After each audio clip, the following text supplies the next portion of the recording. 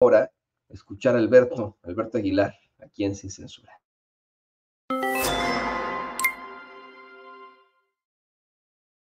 Hola Toñito, hola equipo de Sin Censura, los saluda Gilberto Aguilar desde Ensenada, Baja California. Quiero empezar comentando para ti, Toñito, que mi mujer, este, Lolis, dice que te ves muy bien con ese nuevo look. Dice que te quitaste como 20 años de encima. A ella no le gusta salir en videos, por eso te comparto su opinión. Dice que te miras muy bien, te felicita. Y bueno, entrando en materia, quisiera hablar de, algunas cosas.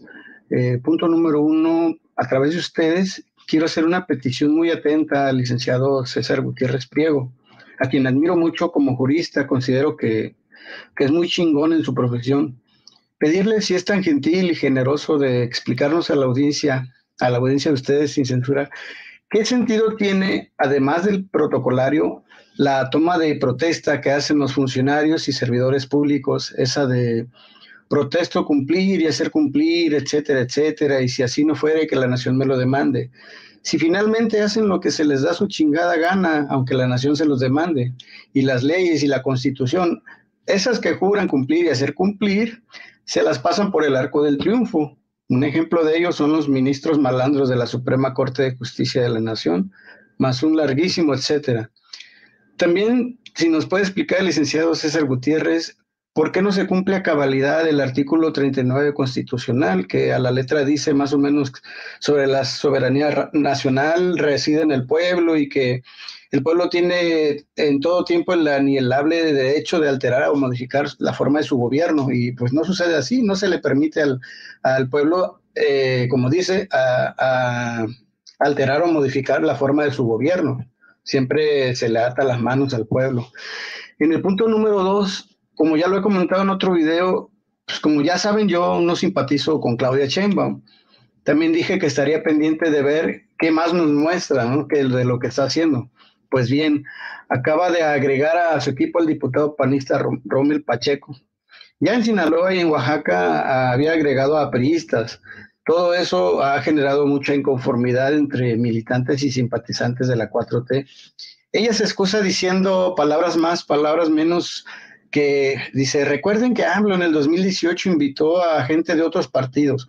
Y yo le digo, sí, AMLO tuvo que hacer alianzas con gente del poder político y económico en cada estado del país, porque en ese entonces era otra la coyuntura. El país estaba en un punto de ebullición y había necesidad de derrotar, de derrotar al viejo régimen, pues. Sí o sí había que derrotarlo. Ahora el movimiento de regeneración nacional está afianzado políticamente hablando, está gobernando 22 estados del país. Lo que toca ahora es hacer limpieza dentro del movimiento, fumigación de chapulines, oportunistas y buscachambas y darle preferencia a la militancia de abajo, a los ciudadanos de a pie y no a pirurris del PAN y del PRI. Creo que al paso que va Claudia Sheinbaum en el 2030 estará devolviendo el poder al viejo régimen Digo, ya de una vez que invite a su equipo a Vicente Fox, al comandante Borolas, al Saco de Puz, a Diego Fernández de Ceballos, fuera máscaras, como, dije, como bien dice el presidente. Como punto número tres, quiero felicitarlos porque cada vez se pone más interesante sin censura, la voz del pueblo, las reseñas de los titulares de los principales diarios, las entrevistas y la nueva dinámica que está llevando Vicente Serrano después de la transmisión de la mañanera. Son una chingonería, la verdad. Eh, muchas felicidades, les mando un abrazo como siempre, un abrazo caluroso, fraternal de Gilberto Aguilar desde Ensenada. Muchas gracias querido Gilberto, eh, de verdad, eh, qué buenas palabras, muy interesante lo que nos plantea. Totalmente de acuerdo con que es muy cuestionable que ahora se haya sumado al, a Morena Rommel Pacheco, ¿no? Un hombre que fue, mire, un panista recalcitrante desde el olimpismo, ¿eh?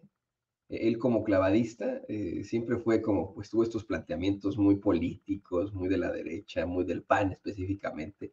Y ahora resulta que se une al equipo ganador, ¿no? Pues eso es, mire, para un deportista muy cuestionable, ¿no? Cuando, eh, pues eh, es un deportista que a lo mejor está en un equipo perdedor y dice, pues me voy con el equipo ganador, pues es cuestionable en cuanto a su ética. Estamos ya hablando del político Rommel Pacheco,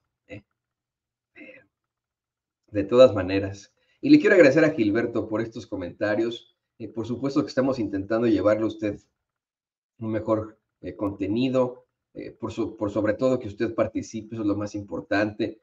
que sepa cómo está la cosa con las cabezas, con las, los titulares sumamente cuestionables y tendenciosos, que pueda tener todas las voces en nuestras entrevistas, pero de todas formas, a pesar de los esfuerzos que estamos haciendo y que usted nos dice, sin censura está mejor que nunca, ahora lo vemos más que nunca, YouTube nos tiene bien bloqueados, ¿eh?